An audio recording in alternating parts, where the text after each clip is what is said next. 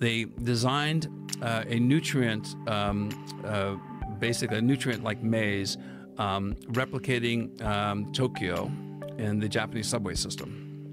And uh, so they started with Tokyo and they put uh, oats, which is a nutritional source. They inoculated what is on this basically an agar map um, with all the major cities, the nodes around Tokyo.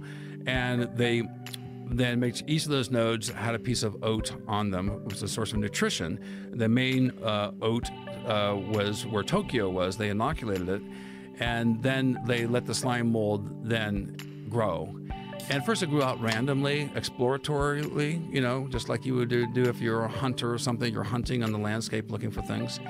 And then after about 28 hours, it reorganized itself in the most efficient way possible and reorganized the Japanese subway system in a more efficient manner than it's designed today.